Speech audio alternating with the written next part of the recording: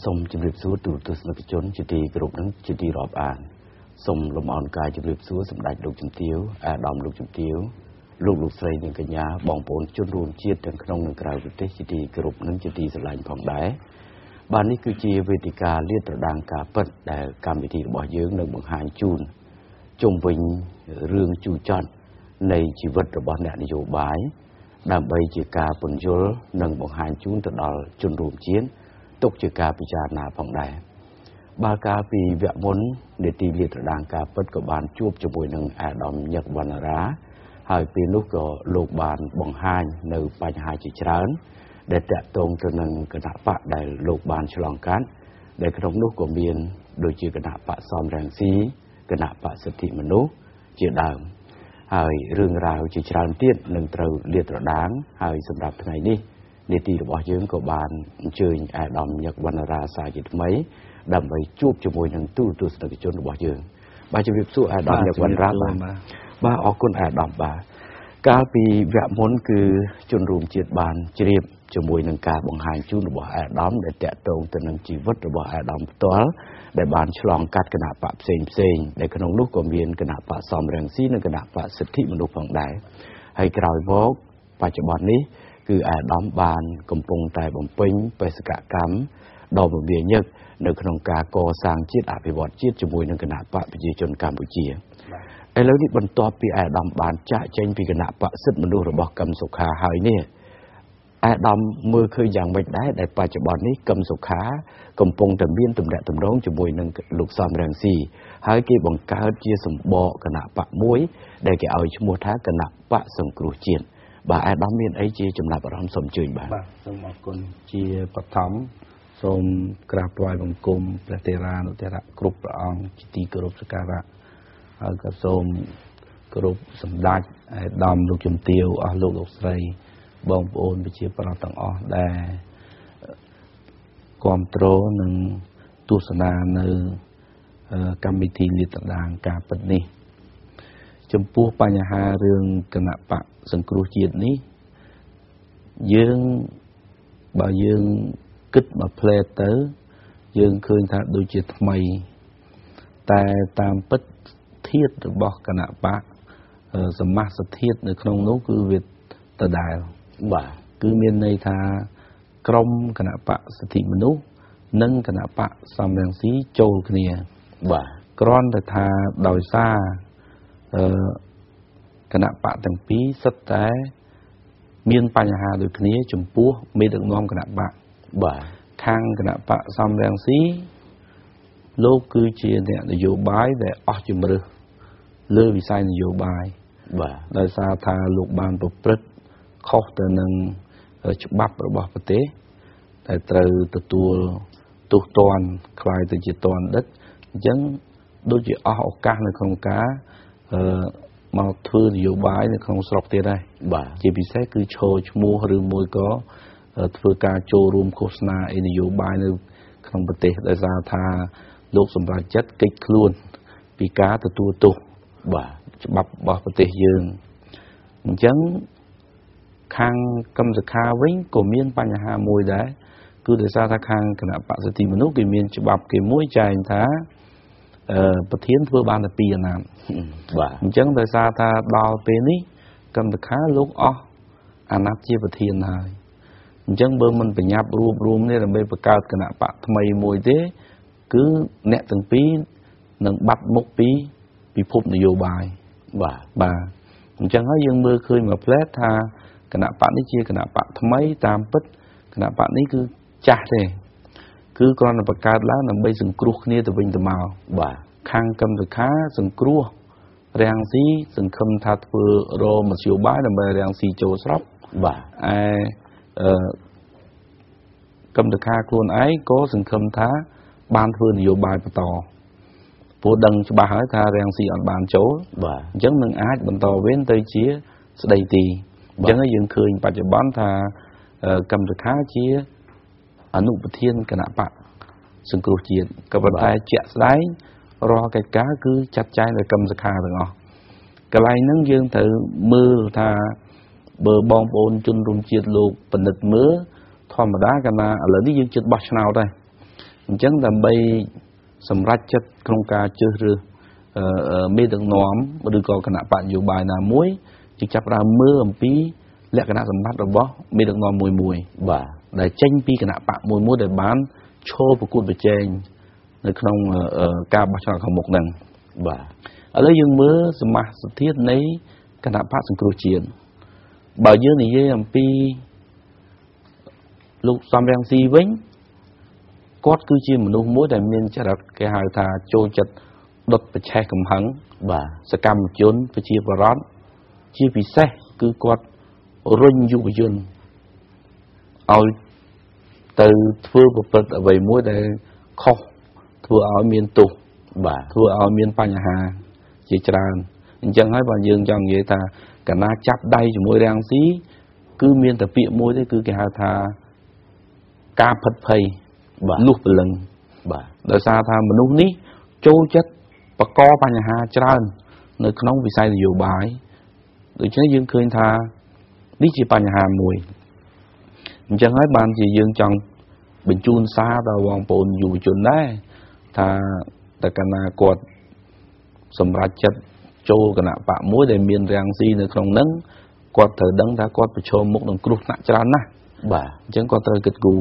នេះជាបញ្ហាធំបើយើងក៏លេខមកមើលកម្មសខាដែលជាអនុប្រធានវិញតើមានអិសរភាពអីអិសរភាពរបស់កម្មសខាគឺភាពកលិចកលុចភាព គេហៅថាគ្មានភាពសច្ចៈសូម្បីតែមិត្តភ័ក្តិក៏គាត់បោកបានដែរបាទមិត្តភ័ក្តិរួមរួមនយោបាយជាមួយគ្នាក៏គាត់អាចកុហកគាត់បោកបានដូចអឺបងប្អូនបានជ្រាបស្រាប់ហើយហើយរឿងធំមួយទៀតគឺកម្មតខាលោកជាមនុស្សមួយកំសាកណាកន្លែងនេះខ្ញុំចង់លើកមួយប្រវត្តិការពីបោះឆ្នោតឆ្នាំ2008 បាទពេលហ្នឹងអឺគណៈបកសំនោះបាន3កៅអីមុនពេលពេលថ្ងៃ27ដែលយើងត្រូវបោះឆ្នោតថ្ងៃ26គាត់កោះថ្នាក់ដឹកនាំធំធំមកប្រជុំគាត់ប្រាប់ថាអឺពេលបោះឆ្នោតហើយប្រកាសលទ្ធផលមិនដឹងថាគណៈបកសិទ្ធិមនុស្សបានប្រមាណកៅអីទេបាទហើយដូច្នេះ ខ្ញុំនឹងអាចមានគ្រោះថ្នាក់បាទអញ្ចឹងខ្ញុំសូមប្រកាសជាទូទៅថាទី1គឺគាត់ខ្ញុំហ្នឹងគឺគាត់ណាលោកកម្មតខាគាត់សុំកិច្ចខ្លួនអូបាទហើយលោកប៉ែនសវណ្ណក៏សុំកិច្ចខ្លួនឯសឿនសុវាគាត់ថាគាត់ទៅបោះឆ្នោតនៅប្រទេសមានជ័យហើយគាត់បញ្ញាប់រត់កិច្ចចូលថៃតែម្ដងបាទអញ្ចឹងខ្ញុំក៏សួរទៅគាត់វិញថាចុះគណៈបកអង្គណាទទួលខុសត្រូវគាត់ថាឲ្យដំកែរីមីឲ្យដំវណ្ណរាអីនិងឲ្យដំយ៉ែមបញ្ញរិទ្ធទៅលោកបញ្ញរិទ្ធអញ្ចឹងទៅហើយបញ្ញរិទ្ធពួកម៉ាក់ខ្ញុំក៏នឹងគ្នាមានតែដែរធ្វើអីនៅស្រុកយើងនេះណារួចដល់ពេលឮសូរថាកម្មសខាលោកកិច្ចខ្លួនប៉ែនសវណ្ណកិច្ចខ្លួនហើយសុំថ្លៃជីវភាពមួយចំនួនសម្រាប់គេហៅថាលុយកាក់សម្រាប់កិច្ចខ្លួនណាណាបាទ បាទអញ្ចឹងទៅយើងមានការភ្ញាក់ផ្អើលថាទេហេតុអីបានជាពេលមានបញ្ហារត់គេចអស់លេងអ្នកដែលអ្នកដែលនៅយាមកន្លែង គឺអាដាមកែរីមីបាទហើយនឹងខ្ញុំហើយនឹងលោកបញ្ញរិទ្ធដែលជាតំណាងហេប្រៃវែងសប្ងៃនេះអញ្ចឹងយើងឃើញថាគ្រាន់តែយើងឃើញរូបភាពនឹងមួយកម្មលខាជាមនុស្សកំសាកខ្លាំងបាទបើយើងបងប្អូនបាន តាមដានព័ត៌មានយើងក៏លេខមកមើលថ្នាក់ដឹកនាំរបស់គណៈបព្វជិជនវិញជាពិសេសគឺសម្ដេចនាយករដ្ឋមន្ត្រីសម្ដេចតេជោពេលដែលយើងនៅប្រជុំអាស៊ានពេលប្រជុំអាស៊ានកាលនោះគឺថៃមានអភិសិទ្ធជានាយករដ្ឋមន្ត្រីបាទរួចមានបដកម្មមានអីលុកលាក់អីចឹងទៅប្រជុំអត់កើតទេបាទអញ្ចឹងទៅមិនថ្នាក់ដឹកនាំប្រទេស របស់អាស៊ានមួយចំនួន អ្នកខ្លះរត់ឡើងយន្តហោះអ្នកខ្លះរត់ឡើងកប៉ាល់អ្នកខ្លះអីប្រផាត់ប្រវីប៉ុន្តែដល់ឡៃសម្ដេចនាយករដ្ឋមន្ត្រីវិញ លោកអត្តនាទាំងអស់ហើយលោកថែមទាំងឃុំក្រងកូនចៅលោកទៀតដែលជាគណៈប្រតិភូហែហោមជាមួយនឹងសម្ដេចលោកថានៅឲ្យស្ងៀមលោកមើលសភាពការច្បាស់លាស់ហើយលោកឃុំក្រងកូនចៅអត់រត់ចោលកូនចៅបាទ អានេះដែលយើងមើលឃើញអិសរភាពក្នុងក្នុងន័យភាពជាអ្នកដឹកនាំបាទមិនមែនមិនទាន់នឹងស្អីផងរត់យកប្រាស់យកឲ្យទុកឲ្យពួកខ្ញុំជាអ្នកទទួលខុសត្រូវអានឹងវាអញ្ចឹងអរគុណអាដាមបាទត្រង់ចំណុចនេះខ្ញុំចង់ឲ្យអាដាមជួយបង្ហាញបន្តិចដែលយើងឃើញហើយជាការពិតក្រោយពេលដែលលទ្ធផលនៃការបោះឆ្នោតនឹងបានបញ្ចប់និយាយចំគឺសកម្មភាពនៃការបោះឆ្នោតកាលពីឆ្នាំ2008នឹងបានបញ្ចប់ យើងឃើញថាកម្មសុខានឹងគឺបានភៀសខ្លួនតែម្ដងកាលនោះនៅក្នុងប្រព័ន្ធផ្សព្វផ្សាយវិទ្យុបរទេសហ្នឹងក៏គេបានលើកឡើងដែរថាកម្មសុខាកិច្ចខ្លួនហើយហើយមូលហេតុនៃការកិច្ចខ្លួនហ្នឹងដូចជាមិនបានបញ្ជាក់ឲ្យបានច្បាស់លាស់ទេតាមសារព័ត៌មានអញ្ចឹងត្រង់ចំណុចនេះខ្ញុំចង់ឲ្យអាដាមជួយបញ្ជាក់មើលថាតើការកិច្ចខ្លួនរបស់កម្មសុខាកាលពីជំនាន់នោះដែលបន្ទាប់ពីបោះឆ្នោតហើយហ្នឹងគាត់កិច្ចហ្នឹងគឺមានមូលហេតុអីដែលដែលដែលធ្វើឲ្យគាត់ គួរព្រួយគួរបារម្ភទេបាទមែនតែនទៅបើយើងមើលមួយផ្លែតបាទអឺគាត់ចង់ដាក់កំហុសទៅលើរដ្ឋាភិបាលថាកាលណាបោះឆ្នោតហើយគណៈបកសិទ្ធិមនុស្សនឹងបានកៅអីច្រើននឹងមិនបកគលអំណាចនឹងធ្វើបាបគាត់គាត់ចង់យករូបភាពហ្នឹងអូដោយសារថាការប្រជុំនៅកំពង់សោមហ្នឹងកម្មសខាខ្លួនឯងបានដាក់គោលការណ៍ថា ដាក់គេហៅថាគោលដៅនៅក្នុងគណៈបកហ្នឹងថាវាបានដល់63កៅអីឯណោះបាទហើយណាទៅដឹងមកចេញមកទៅ3អញ្ចឹងអញ្ចឹងគាត់គិតខ្លួនអឺគាត់គិតថាប្រហែលជាបានប៉ុណ្ណឹងទៅ គេមិនបកគលអំណាចអាចធ្វើបាបឲ្យគាត់បាទអានេះជារូបភាពនយោបាយដែលអឺគាត់នឹងធ្វើអញ្ចឹងឲ្យមើលឃើញរបៀបហ្នឹងតែទស្សនៈដាច់ដライនៅក្នុងសមាជិកគណៈបកវិញ ក្នុងថ្នាក់ដឹកនាំគណៈបកវិញបាទសូមអធិស្ឋានខ្លួនគាត់គាត់យល់ច្បាស់ថាហេតុអីបានគាត់ចាំបាច់ធ្វើអញ្ចឹងគាត់មិនមែនមិនដឹងទេថានៅក្នុងក្របខ័ណ្ឌនយោបាយទោះគាត់បានសម្លេងប្រមាណគណៈបកណាបានសម្លេងប្រមាណវាគ្មានបញ្ហាសង្គ្រាមមានបញ្ហាទៀតទេបាទក៏ប៉ុន្តែគាត់យកអាអាវិធីហ្នឹងនៅក្នុង នៅក្នុងហ្នឹងគឺប្រកបរឿងទូចមួយដែលមិនងាយមើលយល់ទេអ្នកខ្លះបាទប៉ុន្តែតាមពិតជារឿងមួយដែលស្រួលយល់ដោយសារថាគាត់គឺជាមនុស្សចូលចិត្តប្រយោជន៍ផ្ទាល់ខ្លួនបាទពួកខ្ញុំចាំបានតែពេលគាត់សុំទម្លាក់ខ្លួនហ្នឹងគាត់បានជំរាបមកគណៈកម្មការគាត់ថាខ្ញុំសូមដកលុយមួយចំនួនដើម្បី លាក់ខ្លួនរស់នៅមួយរយៈបាទហើយគាត់ផ្ដាំទៀតថាមិនមែនឲ្យមកតែខ្ញុំទេសូមឲ្យរៀបចំថវិកាគណៈបកមួយចំនួនឲ្យទៅលោកប៉ែនសវណ្ណបាទលោកប៉ែនសវណ្ណមួយចំនួនទៀតបាទហើយនឹងឲ្យទៅខាងអឺអឺអាដាមសិនស៊ូបេកាលហ្នឹងក៏ប៉ុន្តែដោយសារអាដាមសិនស៊ូបេលោកលោកប្រាប់ថាអត់ទេខ្ញុំទៅបោះឆ្នោតនៅប្រទេសមានជ័យហើយខ្ញុំ រត់ចូលថៃតែម្ដងមិនបាច់មានបញ្ហាអីសម្រាប់គាត់ទៀតទេបាទអញ្ចឹងទៅគ្នាគាត់ពីអាហ្នឹងទទួលបានផលគ្រាន់តែមករឿងបន្តិចហ្នឹងគាត់ទទួលបានផលរឿងហ្នឹងអញ្ចឹងបាទយើងមើលឃើញថារឿងលោកកឹមសខានេះធ្វើស្អីក៏ដោយបើអត់ចេញជាលុយទេគាត់មិនធ្វើទេបាទហើយក្នុងទិសដៅក្នុងនយោបាយគាត់ គឺគាត់ធ្វើវាឲ្យចេញបានអាហ្នឹងបាទបាទជាផ្នត់គំនិតដើមរបស់គាត់បាទហើយគេអាចរកដើមគាត់គឺគាត់អញ្ចឹងបាទប៉ុន្តែពេលយើងមើលយទូទៅគាត់ចេះតែស្រែកអីលេចកើតអញ្ចឹងទៅ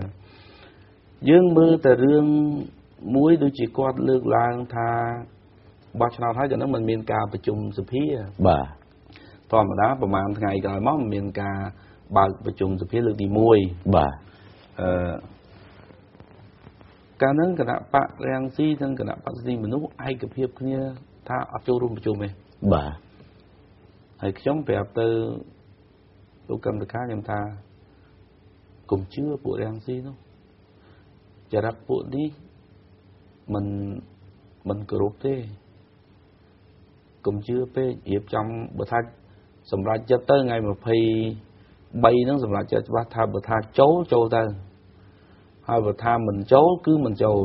បាទហើយទស្សនៈខ្ញុំខ្ញុំជូនយោបល់ថាគួរតែចូលទៅព្រោះអីវាអត់មានអីត្រូវមករាំងស្ទះទេដោយសារថា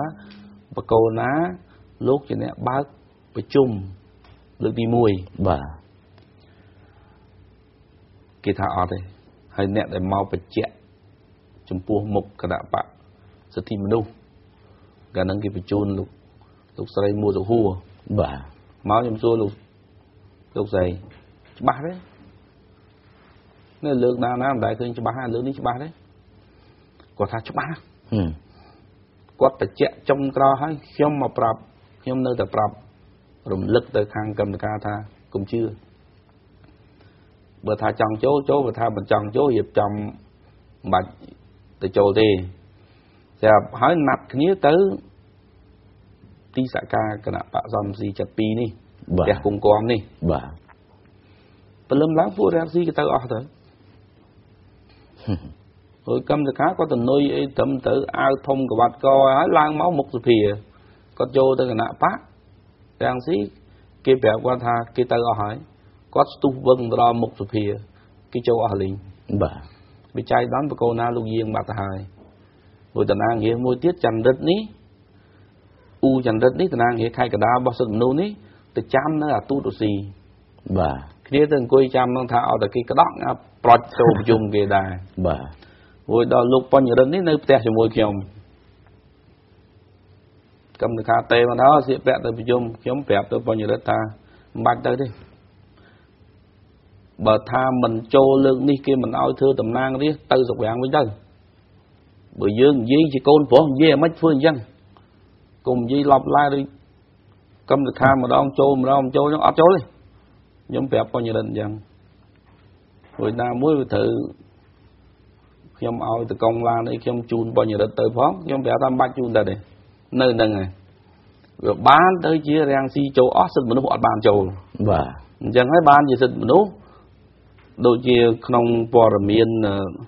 លោកសត្វរៈបានលើកឡើងពីអាយ៉ៃឆ្លើយឆ្លងហ្នឹងខ្ញុំឃើញ កម្មសិក្ខាគាត់លើកឡើងថាគាត់គឺអញ្ចឹងតែថាមិនចូលគឺមិនចូលហើយតាមពិតចូលអត់តន់ចូលអត់តន់តែនៅមុខសភាឯណាមួយបញ្ញរិទ្ធនៅផ្ទះជាមួយខ្ញុំនៅព្រោះគាត់លោកបញ្ញរិទ្ធគាត់យើងបើកសិទ្ធិមនុស្សនេះលោកបញ្ញរិទ្ធក៏នៅស្រុកពាំងហើយខ្ញុំប្រាប់ថាឲ្យគាត់មកឈរឲ្យនៅពេលវេននេះខ្ញុំជួយគាត់ឲ្យបានស្អីតាមពិតគាត់អត់នៅធ្វើទេបាទគាត់នៅស្រុកប្រាំងដល់ថ្ងៃឃោសនា យើងខែ6ហ្នឹងបានគាត់មកមួយខែចុងក្រោយហ្នឹងបាទគាត់បោះឆ្នោតឲ្យបានកៅអីបានឲ្យហើយហ្នឹងគាត់ឡើងទៅវិញហើយអញ្ចឹងហើយលោកបញ្ញរិទ្ធភាកច្រើនគាត់ស្ដាប់ខ្ញុំគាត់នឹកថាតើស្អីដែលជានយោបាយនៅក្នុងស្រុកនេះហើយអ្នកនយោបាយហ្នឹងយ៉ាងម៉េចកម្មសខាយ៉ាងម៉េចអីគាត់ចាំស្ដាប់ខ្ញុំមើលបាទហើយខ្ញុំខ្ញុំមកដល់ចូលខ្ញុំថាមិនបាច់ចូលវាបានសន្យាគ្នាហើយអរគុណអាដាមបាទហើយឥឡូវនេះយើងងាកមក បញ្ហាមួយទៀតដែលបងប្អូនប្រជាពលរដ្ឋខ្មែរកំពុងតែផ្ដោតអារម្មណ៍ហើយកំពុងតែធ្វើការពិនិត្យសង្កេតទៅលើគណៈបកប្រឆាំងទាំងពីរដែលយើងឃើញថាមុននឹងគណៈបកប្រឆាំងទាំងពីរនេះ បានរួមបញ្ចូលគ្នានឹងវាមានទំនាស់ពាក្យសម្ដីនឹងវាវាអាក្រក់ហួសហេតុពេកដូចជាមានការជេរប្រមាថគ្នា មានការដាក់ទំនាយគ្នា មានការចោទប្រកាន់ពីរឿងថាគណៈបក សំរងស៊ីនឹងជាបកបុគ្គលនិយម គ្រួសារនិយម មិនមែនជាគណៈបកប្រជាធិបតេយ្យមិនមែនជាគណៈបកដែលប្រកាន់យកនៅការគោរពសិទ្ធិមនុស្សអីជាដើមហើយសម្រាប់ខាងកឹមសុខានិងសំរងស៊ីគឺថាតតាំងគ្នារហូតហើយឥឡូវនេះយើងឃើញថាការរួបរួមគ្រាន់តែជាលក្ខណៈជាសម្បកហ្នឹងឥឡូវឃើញថាវាបានរួបរួមបោះផុនគាត់មែន ប៉ុន្តែឥឡូវនេះដោយសារតែអាដាមធ្លាប់បានស្គាល់នៅចរិតរបស់លោកសំរងស៊ីច្បាស់ថាសំរងស៊ីមានចរិតនិងមានអិយាបថយ៉ាងណានោះហើយសម្រាប់កឹមសុខាហ្នឹងក៏អាដាមបានស្គាល់ដែរអញ្ចឹងរូបភាពនៃការរួបរวมគ្នារវាងអ្នកទាំងពីរនេះទេអាដាមយល់ឃើញថាជាការរួបរวมមួយ ដែលអាចថានឹងមានភាពល្អកល្អឿនយូរអង្វែងដែរទេឬក៏យ៉ាងម៉េចដែរដែរវិញលោកដិតអាដាមបាទ បាទអរគុណច្រើនជាទស្សនៈខ្ញុំខ្ញុំជឿថាมันអាចរួបរวมគ្នាបានយូរទេបាទ ឥឡូវយើងពិនិត្យមើលសកម្មភាពជាក់ស្ដែងថ្មីថ្មីនេះខាងព័ត៌មានគេផ្សាយថាគណៈបកសង្គ្រោះជាតិនឹងរៀបចំធ្វើមហាបដកម្មបាទដើម្បី ទៀមទាឲ្យ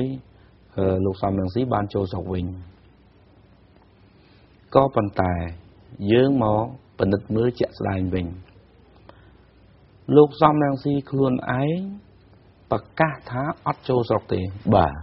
អត់មានអ្នកណាគាត់គាត់អត់មានអ្នកណាធ្វើបាបអីគាត់ទេគាត់ប្រកាសថាអត់ចូលទេបាទការដែលមិនចូលនេះគឺជាការ ជានយោបាយចុងក្រោយរបស់រាំងស៊ីក្នុងការដាក់សម្ពាធជាលេសទៅអន្តរជាតិដើម្បីឲ្យដាក់សម្ពាធមករដ្ឋាភិបាលមកគណៈបកប្រជាជនបាទមកគណៈបកកណ្ដាលអំណាចមករដ្ឋាភិបាលយើងកាន់អំណាចបច្ចុប្បន្នប៉ុន្តែពេលឥឡូវគាត់ប្រកាសថាគាត់អត់មកវិញបាទ គាត់ប្រាប់ថាគាត់អត់មកទៅហើយចាប់ដល់ឥឡូវគាត់ខាងនេះទៅធ្វើបដកម្មធ្វើទៅអីបាទអញ្ចឹងខ្ញុំចង់ដឹងថាឬឥឡូវនេះគេដើរប្រមូលក្រុមយុវជនអីទៅធ្វើបដកម្មទៅរំពឹងអីរាំងស៊ីជបញ្ជាក់ច្បាស់ហើយថាលោកថាលោកអត់មកផងបាទឃើញទេថាហ្នឹងវាជាការដាក់សម្ពាធអាហ្នឹងមួយទៅយើងមើលចាំមកភាពកលិចកលុចភាពមិនត្រឹមត្រូវរបស់ពួកក្រុមបកសង្គ្រោះជាតិបាទដែលដែល ប្រជាជនរកក្តីជឿមិនឃើញណាបាទអាដាមប៉ុន្តែតកតងទៅនឹងអំណះអំណាងរបស់លោកសំរងស៊ីនឹងផងដែរគឺដូចអាដាមបានលើកហើយលោកសំរងស៊ីបាននិយាយថាគាត់នឹងមិនមកទេនៅក្នុងការបោះឆ្នោតឆ្នាំ2013នេះហើយហេតុផលដែលគាត់មិនមកហ្នឹងគឺដើម្បីទី1នោះដាក់សម្ពាធទៅលើរាជរដ្ឋាភិបាលហើយម្យ៉ាងទៀតហ្នឹងគឺដាក់សម្ពាធទៅលើរដ្ឋាភិបាលថ្មីដើម្បីឲ្យរដ្ឋាភិបាលថ្មីហ្នឹងមិនស្របច្បាប់ ជាដើមលក្ខនឹងលក្ខប៉ុន្តែរឿងដែលសំខាន់ជាងនេះទៅទៀតយើងឃើញថាគណៈបកសំរងស៊ីហ្នឹងគាត់បែរជាអំពាវនាវសុំឲ្យនៃសំរងស៊ីហ្នឹងវិលចូលស្រុកដោយមានលេសយ៉ាងនេះយ៉ាងនោះជាដើមអញ្ចឹងតកតងទៅនឹងភាពផ្ទុយគ្នានេះ ដែលលោកកឹមសុខា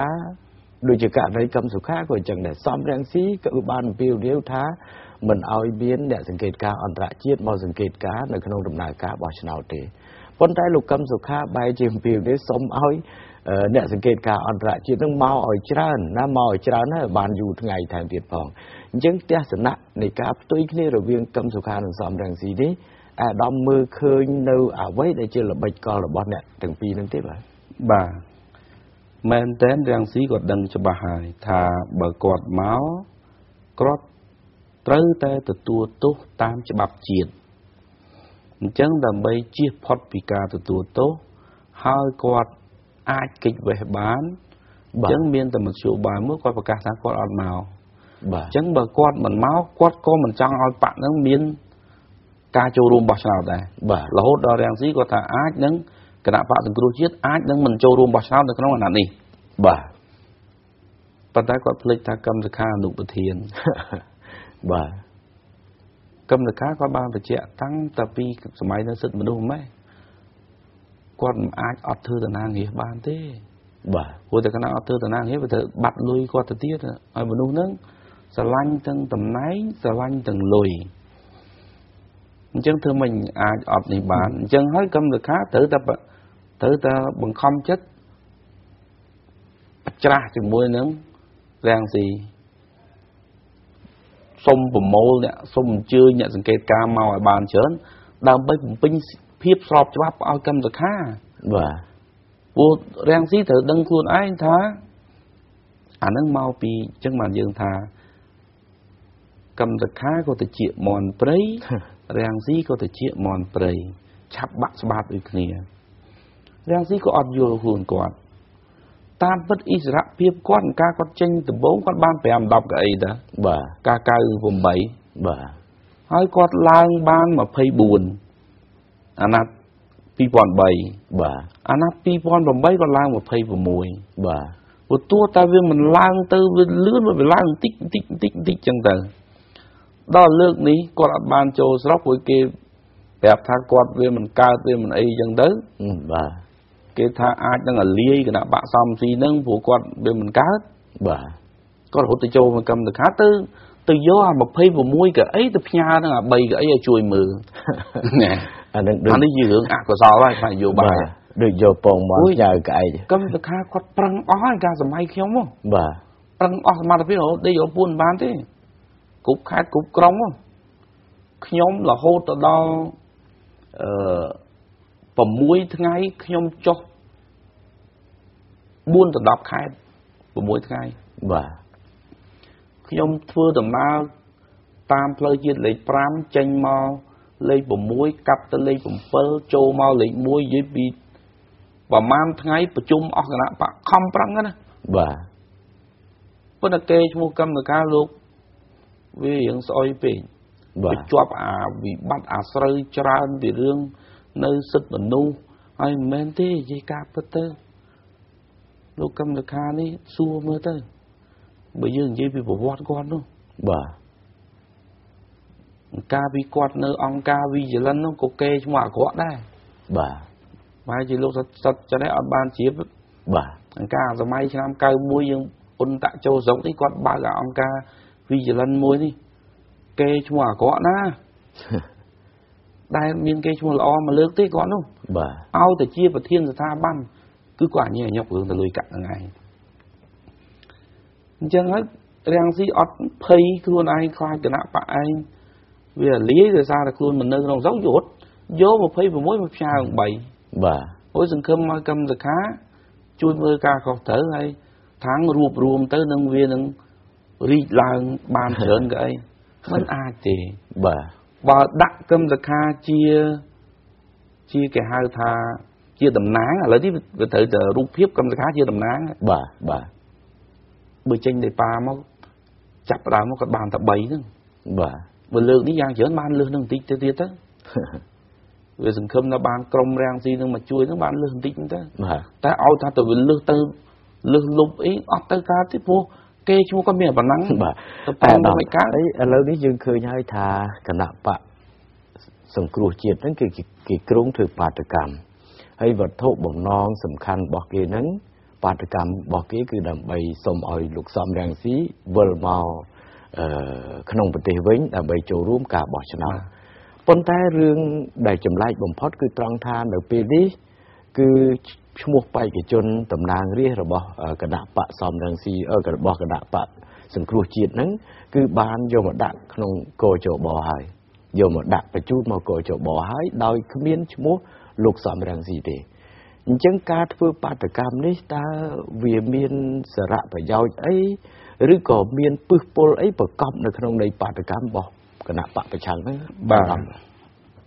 អញ្ចឹងហើយជា បឋមខ្ញុំចង់ជូនយោបល់ទៅបងប្អូនដែលសកម្មជនឬក៏ក្រុមយុវជនដែលគ្រប់គ្រងបាទគណៈបកសង្គ្រោះជាតិហើយដែលនឹងថានឹងចូលរួមបដកម្មអីដើម្បីទៀមទារាំងស៊ីចូលស្រុកនេះយើងត្រូវទទួលស្គាល់ការពិតខ្លួនឯងបៀមួយសន្លឹកនេះរាំងស៊ី ចាញ់កម្មសខាផ្កាប់មុខមិនដឹងជាក្រុមរាំងស៊ីនៅ ក្នុងតំណាងនេះ26កៅអីចាស់នោះរួមទាំងសមាជិកភាពរាំងស៊ីមួយចំនួនដែលចូលទៅក្នុងគណៈបកសង្គ្រោះជាតិនោះបាទមិនដឹងជាបញ្ញាទៅណាអស់ខ្ញុំមិនយល់បែរជាអត់ឲ្យរាំងស៊ីចូលនៅក្នុងបញ្ជីបោះឆ្នោតអញ្ចឹងមានន័យថាកម្មសខាគេឡើងដៃហើយតាមពិត អ្វីអ្វីគឺជាការបោកប្រាស់ទៅដល់ប្រជាប្រដ្ឋសុទ្ធសាធបាទទី1គេបោកប្រាស់ប្រជាប្រដ្ឋថារាំងស៊ីជាបេក្ខជននាយករដ្ឋមន្ត្រីអូចុះអស់លោកតំណាងងារ26កៅអីរាំងស៊ីហ្នឹងគេនឹងអង្គុយសភាអត់ដែរមើលច្បាប់ទេហីបាទគេថាម៉េចដើម្បីខ្លាយទៅជានាយករដ្ឋមន្ត្រីគឺលុះត្រាតែជាតំណាងរាស្ត្រ បាទដើម្បីខ្លាយជាតំណាងរាស្ត្រព្រោះលុះត្រាតែឈរជាបេក្ខភាពតំណាងរាស្ត្របាទឲ្យគេបោះសិនបាទហើយបើឥឡូវរាំងស៊ីអត់ឈរផងអញ្ចឹងកម្មសការគាត់មិនកើហឺបាទគាត់មិនបានដូច្នេះយើងនិយាយលើផ្លូវច្បាប់ខ្ញុំមិនយល់ថាក្រមដំណើររាជរាំងស៊ីឬក៏ក្រមការងារខំសំរាំងស៊ីដែលចូលមកសង្គ្រោះជាតិហ្នឹងគាត់ដូចជាអត់មានបញ្ញាក្នុងការទៅជែកមួយក្រុមកម្មសិក្ខាបាទតែកាលណាយើងមិនដាក់ រាំងស៊ីចូលនៅក្នុងបញ្ជីបេក្ខជនតំណាងរាស្ត្រសូមបងប្អូនប្រជាពលរដ្ឋជាពិសេសអ្នកគ្រប់គ្រងគណៈបកនិងមួយចំនួនតូចហ្នឹងឲ្យយល់ថាកម្មសិក្ខារុញរាំងស៊ីតល់ច្រកឲ្យបាទជាអត្តន័យផ្លូវច្បាប់ មានន័យថាគណៈបកសង្គ្រោះជាតិទទួលស្គាល់ថារាំងស៊ីជាមនុស្សមានទោសបាទបាទនេះនេះជាជាជាចំណុចមួយ ជាចំណុចមួយដែលដែលត្រូវតែអញ្ចឹងហើយបាទពីព្រោះអីបើសិនណាជាគណៈបកសង្គ្រោះជាតិហ្នឹងនៅតែចាត់ទុកថាលោកសំរងស៊ីគ្មានទោសម៉េចគាត់បញ្ចូលច្បាស់គាត់ត្រូវបញ្ចូលទុកឲ្យខាងទុកឲ្យខាងកោយោបទុកឲ្យខាងមហាផ្ទៃអីគេពិនិត្យគេមើលទុកឲ្យស្ថាប័នដែលទទួលភារកិច្ចលើការពិនិត្យបញ្ជីហ្នឹងគេគេមើលទៅបាទប៉ុន្តែក្រែងលោកគណៈបកសង្គ្រោះជាតិហ្នឹងទាំង26នាក់ ទាំង25នាក់នៅក្នុងគណៈបកសំរងស៊ីក៏ដូចជាក្រុមលោកកឹមសុខាហ្នឹងក្រែងគេយល់ឃើញថាបើទោះជាសំរងស៊ីមកក៏គណៈបកគេនៅតែចាញ់អញ្ចឹងទៅអញ្ចឹងជួនកាលគេអាចប្រើសិលឹកវានេះដើម្បីប្រឡប់ប្រជាពលរដ្ឋដូចជាថាលោកសំរងស៊ីជាបេក្ខជនតំណាងរាស្ត្រអីចឹងទៅនៅក្នុងចេតនាកុហកប្រជាពលរដ្ឋនោះ ឬក៏វាមានបញ្ហាហ្នឹងឬក៏យ៉ាងបាទអារឿងថាទោះជារាំងស៊ីគាត់មិនមានទោសហើយគាត់ចូលមកក៏ដោយ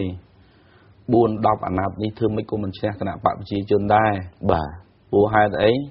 គាត់មានសម្លេងគ្រប់គ្រងតែ1លានអ្នកទេគណៈបកសំរងស៊ីបាទហើយគាត់ដឹកនាំតាំងពីគាត់មាន1លាន2ធ្លាក់មកសល់1លានបាទហើយខាងកម្មសខានេះមានកន្លះលាន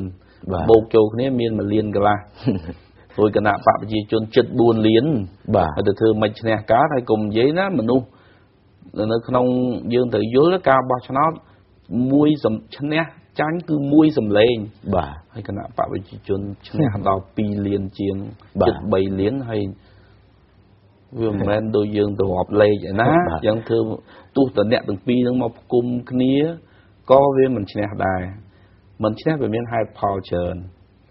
ហេតុផលទី1ប្រជាប្រដ្ឋលោកមើលឃើញការអភិវឌ្ឍជាក់ស្ដែងមើលឃើញ សកម្មភាពរដ្ឋាភិបាលមើលឃើញការអភិវឌ្ឍរបស់គណៈប្រជាជនហ្នឹងគឺថាដោយសារយើងឥឡូវវាមានកសែតមានទស្សនាវដ្តីវិសុទូទូអីសពតាពើមើលឃើញទាំងអស់គ្នាបាទរឿងទី2គឺក្រមគណៈបកសង្គ្រោះជាតិនឹងខ្លួនឯងឬកម្មសខាមករឿងអាស្រូវគាត់វាច្រើនបាទ ងាកមកសំរងស៊ីគាត់ចាញ់3ទឹកទៅហើយបាទបើគាត់ចេះឈ្នះគាត់ឈ្នះយូរហើយទៅបាទបាទគ្មានអីផ្អើលជាងការ2003សារនយោបាយគាត់គាត់និយាយព្រឺព្រឺក្បាលណាបាទបាទហើយដូច្នេះបើចេះឈ្នះឈ្នះរួចទៅហើយបាទអញ្ចឹងទេយើងមើលឃើញថាដោយសារគណៈបកសង្គ្រោះជាតិនឹងរើសមនុស្សមករឿងអាស្រូវច្រើនពេកបាទលោដល់ថ្ងៃនេះកម្មសខាមានរឿងអាស្រូវច្រើនណា ហើយសំខាន់បំផុតកម្មសិក្ខាអត់មានគុណធម៌ទេណាបាទអត់មានគុណធម៌ទេដូចបានខ្ញុំមើលការសម្ភាសកាលពីព្រឹកមិញអឺខាងលោកអឺអេដាមរាជសម្រាញបាទរហូតដល់ថ្ងៃនេះគាត់ជាពាក់លុយគេគាត់អត់ទាំងសងប៉ុណ្ណាបាទហើយគាត់មានមុខអីទៅនិយាយហ្នឹងទី1 ចំណុចមួយទៀតយើងមើលមើលគេថាធ្វើនយោបាយចំណុចចាប់ផ្ដើមគឺប្រមូលមនុស្សជុំវិញខ្លួនប្រមូលក្រុមគ្រួសារខ្លួនប្រមូលមិត្តភ័ក្តិខ្លួនឲ្យជឿលើយើងប៉ុន្តែអាដាមកឹមលខាប្អូនគាត់អាដាមកឹមលខុនមកចូលរួមមួយគណៈបព្វជិជនបាទអត់ជឿនយោបាយរបស់គាត់ហើយប្អូនគាត់ម្នាក់ទៀតនៅគណៈបព្វជិជនយូរហើយដែលម្នាក់នៅក្រសួងសេដ្ឋកិច្ចរញ្ញវត្ថុហ្នឹងក៏អត់ជឿគាត់ដែរបាទ អញ្ចឹងយើងមើលឃើញថាបងប្អូនប្រជាពលរដ្ឋទៅជឿគោលនយោបាយរបស់បកសង្គ្រោះជាតិដែរព្រៀងដោយកម្មសខាបាទជួបងប្អូនគេបង្កើតអត់ជឿប៉ុណ្ណឹងហើយបងប្អូនគេមិនមែនម្នាក់ឯណាបងប្អូនគេពីរនាក់អត់ជឿប៉ុណ្ណឹងបាទហើយយើងទៅជឿមិនកើតបាទអាហ្នឹងទី1ទី2ទៅបដូរជីវិតមួយមនុស្សនឹងអាម៉េចបើមនុស្សនឹងមើលឃើញតែរឿងលុយកាក់បាទដូចជាថ្មីថ្មីនេះខ្ញុំបានឃើញបញ្ជីបោះឆ្នោត គណៈបកសង្គ្រោះជាតិមានក្រុមគណៈបកសំរងស៊ីដែលតំណាងរាស្ត្រ26រូបចាស់បាត់ឈ្មោះច្រើនណាស់អូបាទហើយបើតាមសួរទៅអត់លុយតែអត់លុយគេដេញគេប្រខិតចុះហើយអានោះវារឿងរបស់កម្មវិធីគាត់តែប៉ុណ្្នឹងហើយជាគោលការណ៍បាទអញ្ចឹងយើងឃើញថាការដែលទៅជឿទៅគ្រប់គ្រងមនុស្សអស់នេះគឺអត់បានទេ គឺយើងមើលអញ្ចឹងអញ្ចឹងបានយើងឃើញថាហេតុអីបានដោយលោកសរៈលើកឡើងអញ្ចឹងថាតើវាមានរូបភាពអីមនុស្សទាំងពីរទាំងមួយថាមកមួយថាមិនមកបាទរួចមិនដាក់បញ្ជីចូលតែកាលណាដាក់ទៀមទារាំងស៊ីបានដាក់បញ្ជីចូលកម្មសខាអាចលាឈប់ភ្លាមបាទគាត់ខ្លាចរាំងស៊ីតាំងតែពីអើយមកបាទគាត់ខ្លាចណាស់រាំងស៊ីបាទព្រោះគាត់ថាដើរដិមគ្នាណាគេចាប់ដៃរាំងស៊ីគេអត់ចាប់ដៃគាត់ទេបាទព្រោះ កលីបគាត់អត់ទាន់ដល់សំរាំងស៊ីទេដល់ឥឡូវនេះគាត់លេបសំរាំងស៊ីបាន ដោយសារអីរាំងស៊ីគាត់ឆាប់លុះព្រលឹងពេកបាទគាត់បំភ័យគេឲ្យលុះព្រលឹងគ្រប់គ្នាស្រាប់ទីចុះគាត់មកលុះខ្លួនគាត់លុះធ្ងន់ហ្មងបាទទៅយកសមាជិកឯង26ទៅរំលាយចូល3 បាទហើយទៅសង្ឃឹមអីអា3ស្រង់ស្រង់26បានអរគុណដែរដល់បាទឥឡូវយើងងាកមកមើលរឿងអ្នកគ្រប់គ្រងគណៈបកប្រឆាំងវិញម្ដងដោយលោកស្រីទូទស្សនិកជនជ្រាបហើយថាសម្រាប់គណៈបកសំរងស៊ីក្តីគណៈបកកឹមសុខាក្តីគឺមេដឹកនាំបកទាំងពីរនេះគឺសិតតែជាអ្នកដែលមានប្រវត្តិក្នុងការចាញ់ឆ្នោត បើសំរងស៊ីវិញគឺថាចាញ់ឆ្នោតផ្ទួនផ្ទួនគ្នាគេហៅថាដប់តែម្ដង គឺរហូតដល់3ដងហើយសម្រាប់កឹមសុខាមិនមែន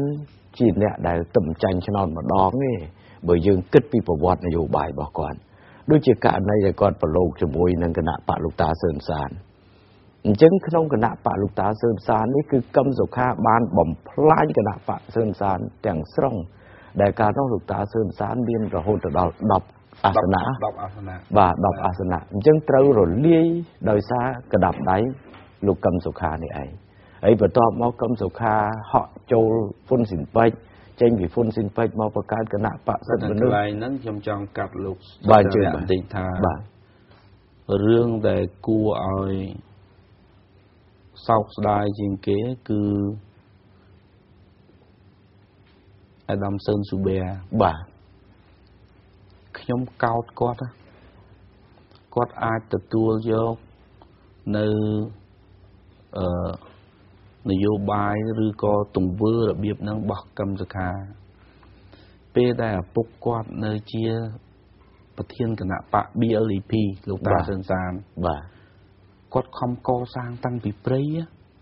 បាទបាន10កៅអីមកឲ្យកម្មសខាកាន់កាប់0កៅអី ហើយគាត់នៅចាប់ដៃមួយកឹមសខាឥឡូវនេះ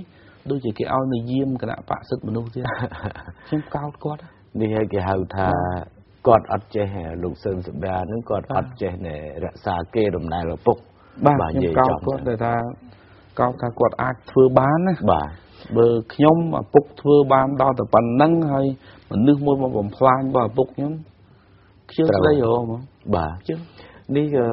វាមិនខុសអីពីខ្មែរយើងនិយាយថាកូនចោលមកសៀតទេកូនដែលវាអត់បានការកូនដែលអត់បានប្រយោជន៍ឪពុកម្ដាយរមរតកយកមកឲ្យវាគួរណាស់តែថែរក្សាមរតកនោះឲ្យបានគង់វង្សហើយចេះបដោះបដាលយ៉ាងម៉េចធ្វើឲ្យមរតកដែលយើងមាន10ហ្នឹងឲ្យវាឡើង20ឡើង30ឡើង40អានឹងបានគេហៅថាអ្នកដែលមានកំណើតអញ្ចឹងបានថាជាសេចក្តីសរុបមកវិញគឺកឹមសុខានេះ មិនមែនជាមនុស្សដែលគ្មានប្រវត្តិចាញ់នោះទេ គឺចាញ់នៅក្នុងគណៈបកលោកតាសឿនសានហ្នឹងម្ដងហើយ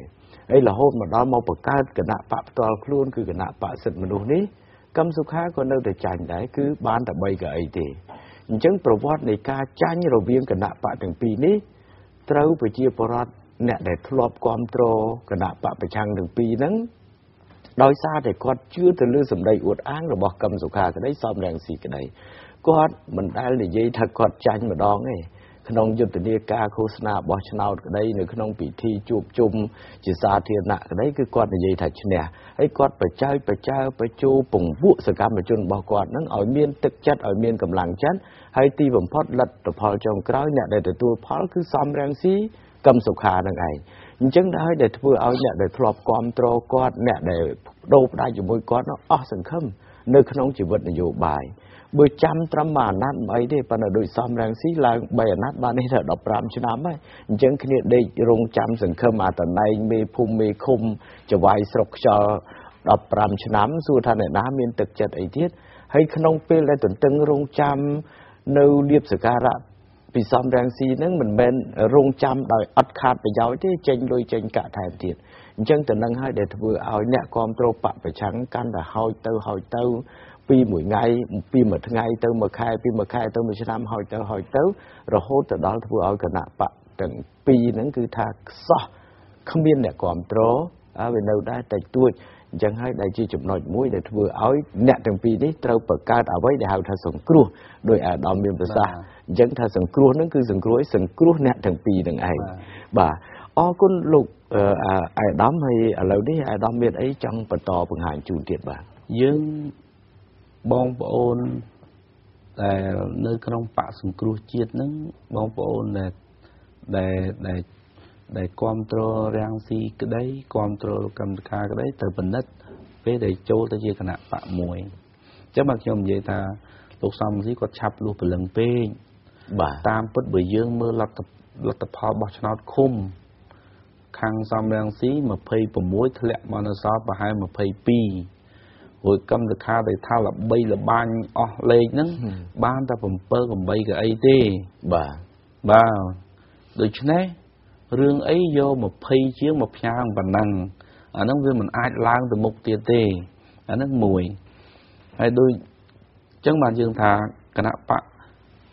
សង្គ្រោះជាតិនេះសារជាតិចេញពីរាំងស៊ីនិងសិទ្ធិមនុស្សបាទអ្នកទាំងអស់ហ្នឹងចូលចិត្តបង្កើតប្រតិការដែលមានបញ្ហាដល់សកម្មជន មានបញ្ហាដល់អ្នកគ្រប់គ្រងដោយឃើញថ្មីថ្មីនេះ នៅក្នុងរដ្ឋសភាឃើញអឺ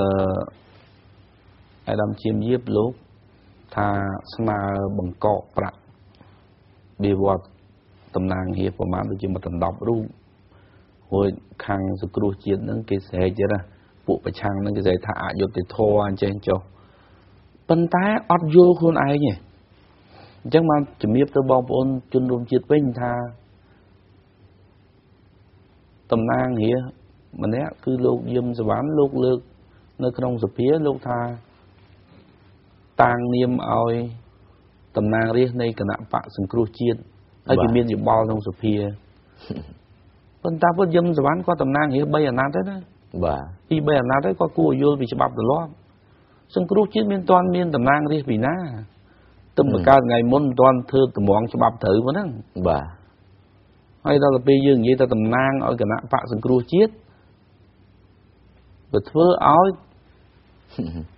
សម្ដេចប្រធានរដ្ឋសភាឬក៏គណៈកម្មការនៅក្នុងសភាគេថាអញ្ចឹងត្រូវប្រកបប្រាក់ខែស្រែកជានយោបាយថាអយុត្តិធម៌ណាតាមពិតអានេះជាលេសព្រឹត្តិការណ៍នយោបាយខលខូចរបស់ក្រមបកប្រឆាំង គេមិនធ្វើអញ្ចឹងទេទោះប្រឆាំងយ៉ាងណាក៏ដោយត្រូវឈរលើមូលដ្ឋានច្បាប់បាទប៉ុន្តែអ្នកប្រឆាំងរាល់ថ្ងៃនេះហេតុអីបានមិនឈ្នះមកពីគាត់ចូលចិត្តបកកើតប្រតិការលួសព្រលឹងភិតភ័យទៅដល់ប្រជាបរតទៅដល់យុវជន គ្រប់ស្រទាប់ទាំងអស់ដោយមិនឈលលើមូលដ្ឋានច្បាប់ដូចករណីហ្នឹងមានត្រូវពីណាមកបាទ ហើយយឹមសវណ្ណគាត់មិនមែនអ្នកនេះណាគាត់មិនមែនថាគាត់ធ្វើតំណាងរៀបបាន3 4ថ្ងៃនេះណាគាត់ធ្វើយូរដែរហ្នឹងបាទហើយគាត់មិនដឹងថាបកសង្គ្រោះជាតិទៅបង្កើតហើយនៅក្នុងច្បាប់គេថាម៉េចបើអ្នកឯងរំលាយចូលគ្នាបើនៅក្នុងគណៈបកនៅក្នុងដែលមានអាសនៈវាមានអីប៉ុន្តែនៅក្នុងសភាគេមានតែបក5ហ្នឹងបាទមានតែបកប្រជាជនគណៈបកប្រជាជនកម្ពុជាដែលនាំមុខ90អាសនៈ គណៈបករាំងស៊ីគណៈបកសិទ្ធិមនុស្សហ៊ុនសពេចនិងនរោត្តមបាទចូលសង្គ្រោះជាតិកើតចេញពីណាអានេះហើយគឺជាការខុសឆ្គងហើយជាល្បិច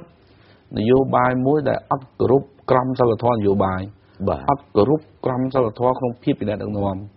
អានេះដែលយើងយើងមើលឃើញអញ្ចឹងហើយយើងបានយើងត្រូវឲ្យជាបឲ្យច្បាស់ថាបើកាលណាគាត់នៅតែបកកអាបញ្ហានេះ ជាការល្អដែរតែកាលណាគាត់បកកអញ្ចឹងទៅប្រជាជនអស់ជំនឿបាទតែប្រជាជនអស់ជំនឿគណៈបកគាត់មិនអាចទទួលបានជោគជ័យទេបាទដូច្នេះអានឹងយើងត្រូវយល់ថាការធ្វើនយោបាយអ្នកទាំងអស់ហ្នឹងគាត់មានឆន្ទៈនយោបាយហើយប៉ុន្តែគាត់អត់គ្រប់ខ្លួនឯងបាទហើយរឿងធំបំផុតគាត់អត់គ្រប់ប្រជាប្រដ្ឋ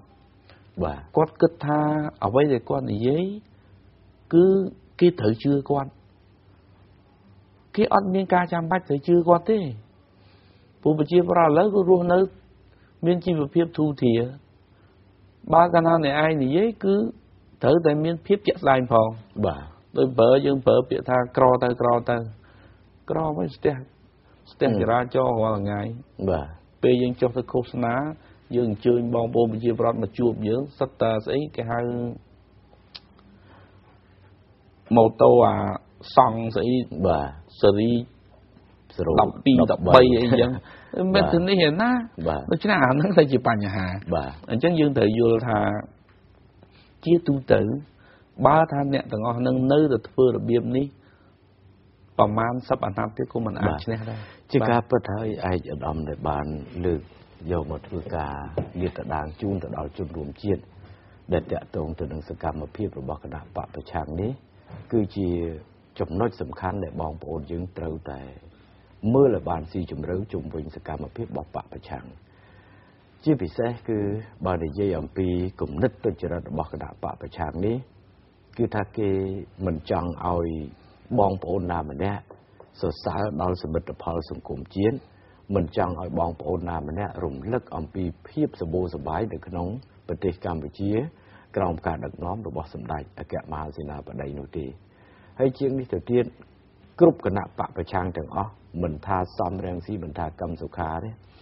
កាលណាយើងនិយាយអំពីថ្ងៃ7មករាអីជាដើមហ្នឹងគឺថាគេអត់សប្បាយចិត្តទេ គឺគេហាក់បីដូចជាហាមឃាត់មិនចង់ឲ្យប្រជាពលរដ្ឋរំលឹកដល់ថ្ងៃដ៏ជូរចត់ដែលប្រទេសកម្ពុជាធ្លាក់ទៅក្នុងរណ្ដៅមរណៈអីជាដើមហ្នឹងគឺថាគេមិនចង់ឲ្យលើកពីបញ្ហានេះ ត្រង់ចំណុចនេះខ្ញុំចង់ឲ្យអាដាមជួយបញ្ជាក់បន្តិចដោយសារថាអាដាមបានឆ្លងកាត់ទាំងគណៈបកសំរងស៊ីទាំងគណៈបកសិទ្ធិមនុស្សហេតុអីបានជាគណៈបកប្រឆាំងនៅកម្ពុជាទាំងពីរនេះគេហាក់បីដូចជាយកថ្ងៃ7មករាហ្នឹង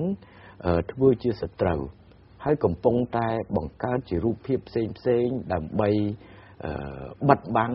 នៅអ្វីដែលជាព្រឹត្តិការណ៍ជាប្រវត្តិសាស្ត្រនេះ ចំពោះមុខបងប្អូនប្រជាពលរដ្ឋអាដាមយល់ឃើញយ៉ាងម៉េចបាទបាទដោយសារថាមែនតែនទៅក្រមប្រឆាំងពាក្យថាប្រឆាំងមួយម៉ាត់គឺគាត់ធ្វើមិនឲ្យវាផ្លែកពីគណៈបកប្រជាជនបាទអញ្ចឹងប៉ុន្តែគាត់ភ្លេចគិតថាវាគឺជាការពិតការពិតមនុស្សយើងប្រជាប្រដ្ឋខ្មែរយើង កាលពីសម័យយើងរស់នៅខ្មែរក្រហមខ្ញុំក៏រស់នៅក្នុងខ្មែរក្រហមបាទថ្ងៃណាក៏យើងសម្លឹងឡើងទៅមើលលើមេឃដែរថាគង់មានថ្ងៃមួយមានគេមកជួយយើងបាទទីបញ្ចប់គឺមានគេជួយមែនគឺគណៈបកប្រជាជនដែលបានមកជួយយើង ក៏ប៉ុន្តែដើម្បីភាពខ្មាស់អៀននឹងការបិទបាំងរបស់ក្រមបកប្រឆាំងគាត់អត់ទទួលស្គាល់បាទប៉ុន្តែដូចជាឧទាហរណ៍ដែលថាថារាំងស៊ីចោះបើថាគាត់មិនទទួលស្គាល់ដោយសារតែគាត់អត់នៅក្នុងសោកគាត់ចេញទៅតាំងពីមុនសម័យខ្មែរក្រហមទៅទៀតបើចុះកឹមសុខាគាត់មិនក៏មិនទទួលស្គាល់កើតបើឪពុកគាត់ស្លាប់សម័យខ្មែរក្រហមដែរហ្នឹងបាទបាទហើយ ក្រុមគ្រួសារគាត់មិនស្លាប់សម័យខ្មែរក្រហមបាទហើយមិនបាតជើងសព្រាតដូចគ្នាហើយពាក់ខ្មៅខោខ្មៅអាវខ្មៅបបរអង្គមកក្តាប់មកផ្ទះដូចគ្នាបាទបាទជុំមិនក៏គាត់មិនទទួលស្គាល់អានេះហើយគេហៅថាសិលធម៌អ្នកនយោបាយយើងត្រូវទទួលស្គាល់ការពិតថា ថ្ងៃហ្នឹងពិតជាបាន រំដោះយើងបាន សង្គ្រោះយើងឲ្យផុតពីគ្រោះថ្នាក់ផុតពីរណ្ដៅមរណៈ រឿងកតាស្អីផ្សេងជារឿងមួយដាច់ដライប៉ុន្តែអារឿងជីវិតនេះគឺសំខាន់ណាស់សម្រាប់មនុស្សហើយបើអ្នកទាំងអស់នឹងមិនទទួលស្គាល់ហើយមនុស្សដែលត្រូវបោះឆ្នោតដែលដែលមកបោះឆ្នោតអាណត្តិនេះក្តីពីអាណត្តិមុនមុនក្តីសឹមមនុស្សឆ្លងកាត់សម័យខ្មែរក្រហមដែរព្រោះតែគាត់និយាយអញ្ចឹងពួកនឹងគេអត់បោគាត់បងប្អូនគេអត់បោដោយសាររឿងហ្នឹង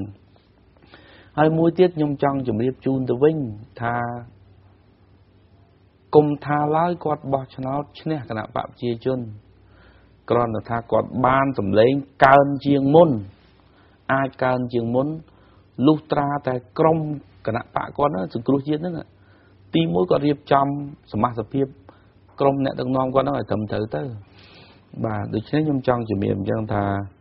គុំថាឡើយគណៈបកនឹងមកអាចឈ្នះគណៈបកប្រជាជន បើគាត់ចង់គ្រាន់តែកើនសម្លេងបាទក៏គាត់ត្រូវកែច្រើនដែរទី1គាត់ត្រូវកែសមាជិកការកែប្រែនៅប្រព័ន្ធការគ្រប់គ្រងរបស់ពួកគាត់កុំឲ្យបកពួកនិយមបាទកុំឲ្យគេហៅពុករលួយក្នុងបកណាបាទបាទដូចយើងមើលនៅក្នុងបញ្ជី គឺគាត់ដាក់ក្រុមគ្រួសារគាត់ចូលច្រើនណា ហើយអាដាមកម្មលខាឃើញដាក់អឺបងថ្លៃគាត់មួយនៅក្នុងការចូលឈ្មោះនៅខេត្តកដាលមួយដែរបាទអញ្ចឹងយើងឃើញថាបើគាត់មិនកែប្រព័ន្ធគ្រប់គ្រងនៅក្នុងបកគាត់ទេបើធ្វើរបៀបរាល់ថ្ងៃហ្នឹងมันអាចឈ្នះបានទេទី2ក្រមបកសង្គ្រោះជាតិហ្នឹងត្រូវពិនិត្យមើលគេថារៀបចំលក្ខណៈសម្បត្តិឲ្យបានត្រឹមត្រូវ កុំឲ្យមានរឿងអាស្រូវច្រើនពេកដូចកម្មសខាគាត់រឿងអាស្រូវយកច្រើនយ៉ាងនេះបាទហើយគាត់បោះមិញឈ្នះបាទតែទៅពេលគាត់បោះអត់ឈ្នះពេលលទ្ធផលចេញមកវាចាញ់ផ្កាប់មុខទៀតគាត់ស្រែកអយុត្តិធម៌ណាវាខុសមកពីចេះវាខុសមកពីចុះមិនមែនទេបាទគឺចរិតលក្ខណៈគាត់គេមិនអាចជឿបានបាទអាដល់ឥឡូវតាក់ទងទៅនឹងរឿងរាវនេះដែរបើយើងឃើញថាកម្មសុខាគេបានប្រកាសគេថា គណៈបករបស់គេ ដែលបង្កើតជាមួយសំរងស៊ីហ្នឹងគឺថាដឹងតែឈ្នះណាគឺគេប្រកាសថាឈ្នះអញ្ចឹងហ្មងឈ្នះអីឈ្នះគណៈបកប្រជាជនបាទគេថាដឹងតែឈ្នះសិទ្ធិមនុស្សរបស់គាត់បាទឥឡូវគាត់ថាគាត់គាត់ថាគាត់ឈ្នះហើយប៉ុន្តែបើសិនណាជាគាត់ចាញ់អាហ្នឹងគឺមានគេលួចស្លឹកឆ្នោតគាត់ទេបាទគាត់ចាញ់អញ្ចឹងគឺគាត់និយាយបែបនេះ គាត់ថាគាត់ឈ្នះហើយហើយបើសិនណាជាចាញ់បើសិនណាជាបោះឆ្នោតនេះចាញ់នេះមានតែគេគេលួចស្លឹកឆ្នោតគាត់គាត់ទេបានបានធ្វើឲ្យគាត់ចាញ់អញ្ចឹងអាចំណុចនេះតើគាត់មានប្រកបល្បិចកលអីយ៉ាងម៉េចដែរទៅអាដាមអានេះគឺថាប្រកបល្បិចការពារចាញ់ទុកជាមុនបាទព្រោះបើយើង ស្ដាប់គោលនយោបាយនិងទង្វើរបស់គណៈបាលសង្គ្រោះជាតិនេះយើងឈឺក្បាលខ្លាំងណាស់ឥឡូវខ្ញុំនិយាយពីសារបានអ្នកទាំងអស់ហ្នឹងវិញបាទ គាត់លើកឡើងថាបើគ្មានសំរងស៊ីចូលស្រុកទេលទ្ធផលការបោះឆ្នោតហ្នឹងมันអាចយកជាការបានបាទចុះឥឡូវរាំងស៊ីអត់ចូលស្រុកហ្នឹងបាទហើយគ្មាននរណាដេញគ្មាននរណាខាត់គាត់សម្រេចចិត្តថាអត់ចូលហើយបើគង់តែវាមិនយកជាការបានហើយចុះដាក់បញ្ជីមកបោះឆ្នោតទៅអីបាទហ្នឹងទី1ទី2 គាត់ថាបើគ្មានរាំងស៊ីទេគាត់នឹងធ្វើអាចនឹងពហិការមិនចូលរួមបោះឆ្នោតគាត់នឹងនិយាយឲ្យរត់ទៅចុះឈ្មោះបោះឆ្នោតបានហើយគាត់ថាគាត់ពហិការនឹងមិនដាក់បញ្ជីឈ្មោះលុះត្រាតែមានការកែកោជបបាទស្រាប់ដល់ពេលហើយគាត់ដាក់បញ្ជីចូលបានបាទឃើញអញ្ចឹងបើយើងមើលទៅអ្នកទាំងអស់ហ្នឹង ខ្ញុំនៅក្នុងបកប្រឆាំងមិនមែនតិចឆ្នាំទេណា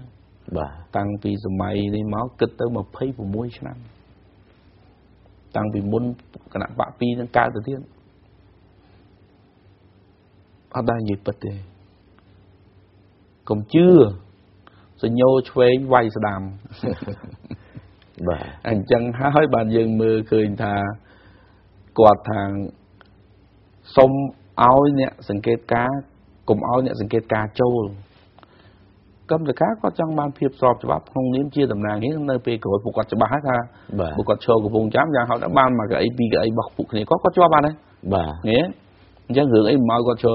មិនឲ្យគាត់គេទទួលស្គាល់គាត់បាទអារឿងគេអត់ទទួលស្គាល់អត់ទទួលស្គាល់រាំងស៊ីដែរប៉ុន្តែរឿងគាត់ក៏សុំការទទួលស្គាល់វិញអញ្ចឹងទៅយើងមើលទៅអ្នកទាំងពីរទៅច្បងច្បល់អំបើមកអញ្ចឹងបាទខ្ញុំថាបើសិនតែយើងយកខួរក្បាលទៅគិតរឿងសង្គ្រោះជាតិហ្នឹង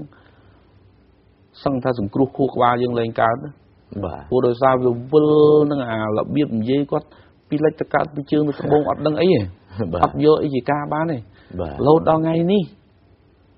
រាំងស៊ីអត់មាននៅក្នុងបញ្ជីផងប៉ុន្តែជាទូទៅទូទាំងប្រទេសកម្មសខាដើរកុហកប្រជាប្រដ្ឋទាំងអស់បាទថា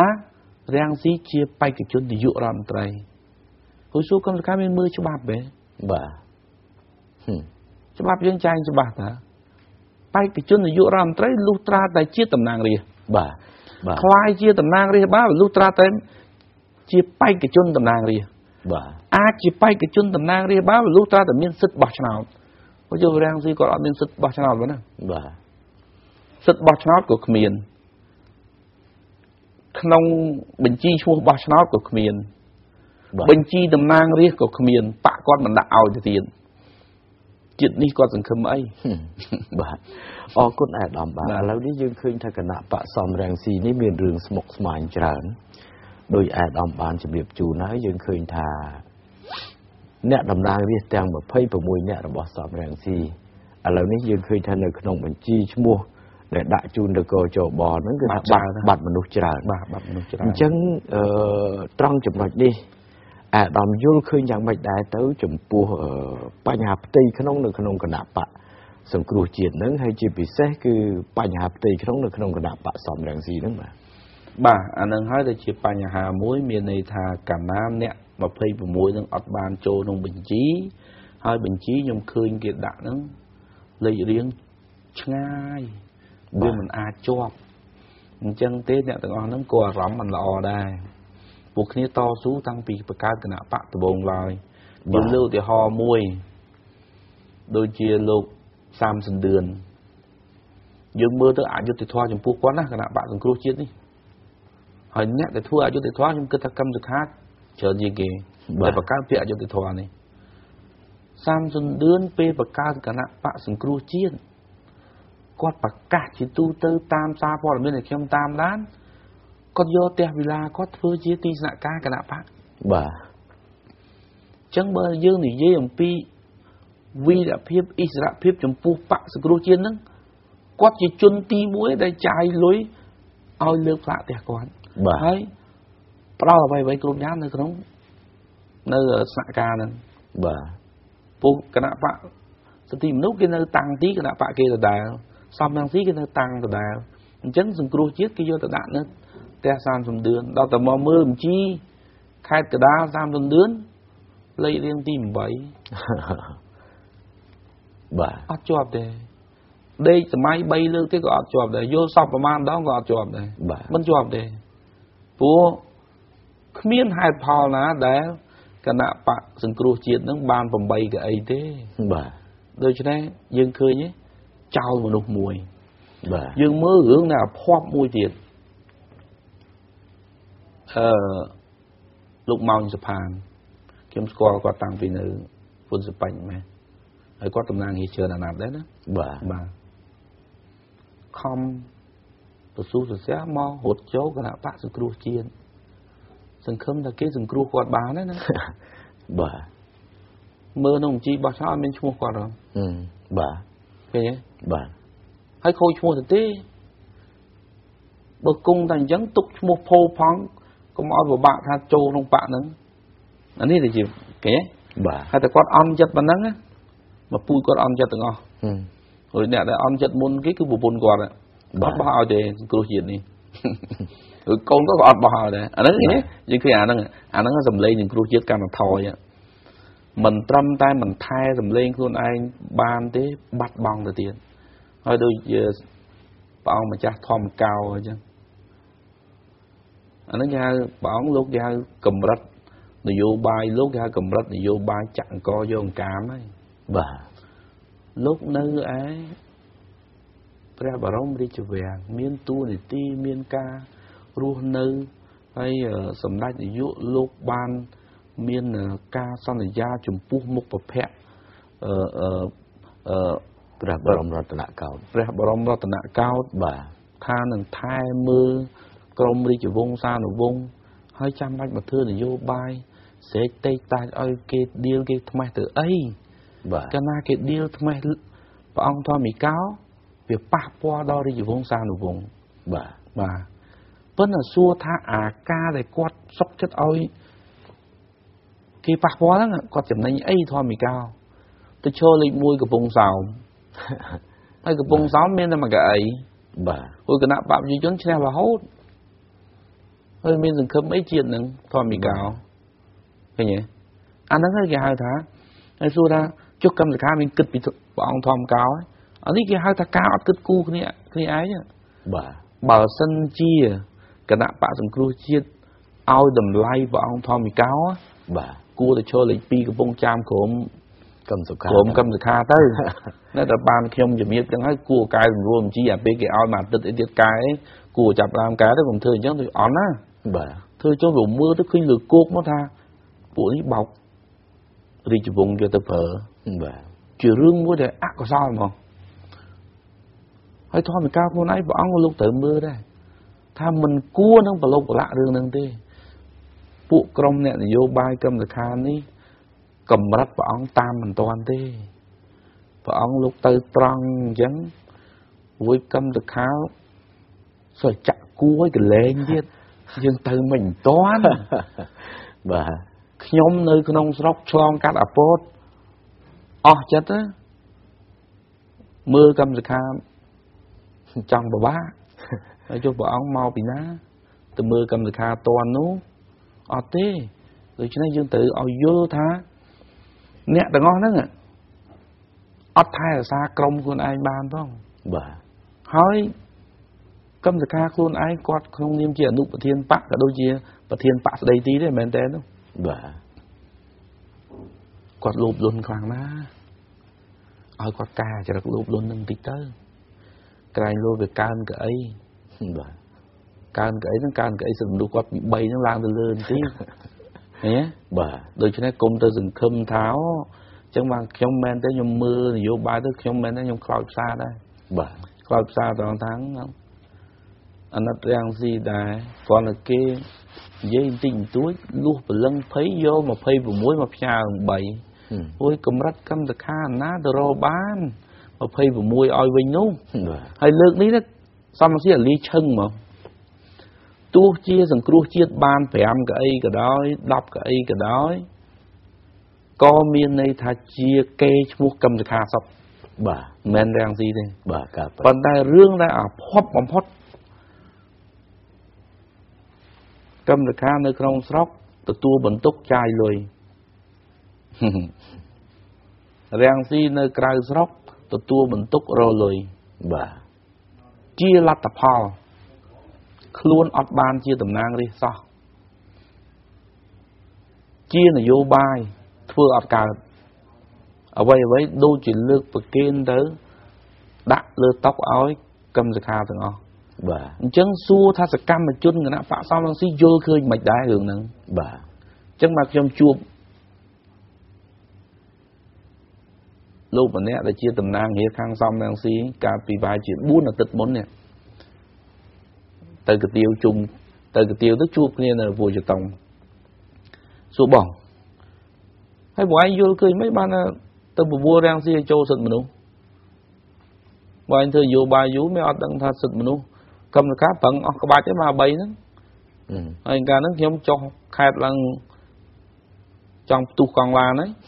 ហើយបានតែ3យកបងឯង26 9មកចូលមួយគេអញ្ចឹងហើយបងឯងមើលគាត់ថារបៀបចូលបងឯងគឺចាញ់ព្រៀបកម្មសខារហូតគាត់តែបោះផ្លាកគណៈបកភូមិណាឃុំណាដែលគ្រប់គ្រងសំរងស៊ីអា logo ហ្នឹងគេមានព្រះអាទិត្យហ្នឹងហើយពណ៌គេរៀងខៀវចារៀងខៀវអញ្ចឹង ភូមិឃុំណាដែលគ្រប់គ្រងខាងសិទ្ធិមនុស្សហើយដល់ពេលឥឡូវគេចូលគ្នាដល់ពេលគេបោះឆ្នោតគេបោះអា logo ហ្នឹង logo ដោយគណៈបកសិទ្ធិមនុស្ស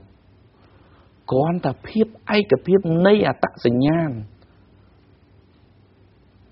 ផ្លាកសញ្ញាណាអត់តន់ឯកភាពគ្នាផង